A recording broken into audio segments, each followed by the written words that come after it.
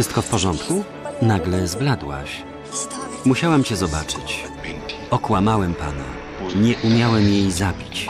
Wiktoria musi teraz bardzo uważać, Nie wydałyśmy cię spokojnie. Chodzi o pana żonę. To ważne. by jej sekret nie wyszedł na jaw.